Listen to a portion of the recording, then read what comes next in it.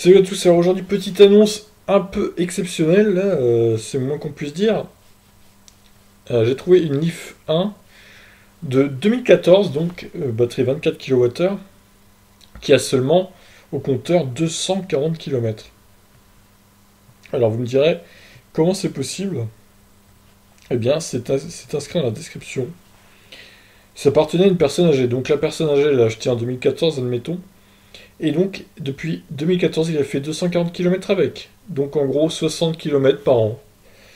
C'est absolument ridicule, là. Euh, on est sur un, dossier euh, assez effarant. Comment on peut rouler si peu?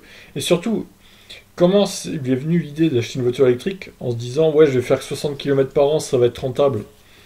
Non, là, autant acheter un vélo ou une trottinette hein, électrique. hein, c'est pas... Non, c'est pas rentable du tout, là. Et donc, évidemment, le garage, il vend ça 18 990 euros. Il se dit, elle a que 240 km. Donc, forcément, elle a, elle peu roulé. Donc, euh, voilà, la batterie doit être en état. Eh bien, non. Regardez donc. Je vais zoomer un peu là. Vous voyez la jauge, le truc électri- électrique là.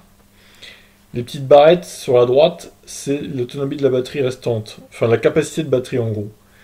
Et là, je, je constate qu'elle a perdu 5 ou 6 barrettes.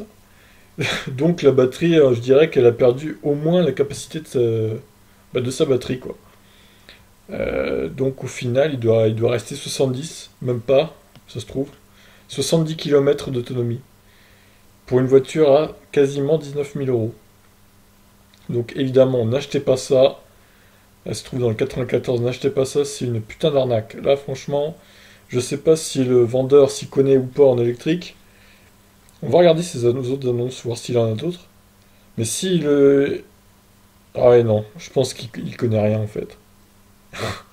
Ils vendent des Porsche, des BM, des Audi. Ah là là, mais c'est terrible. Ça se trouve, il va arnaquer quelqu'un sans faire exprès, quoi. Ou alors il va pas la vendre.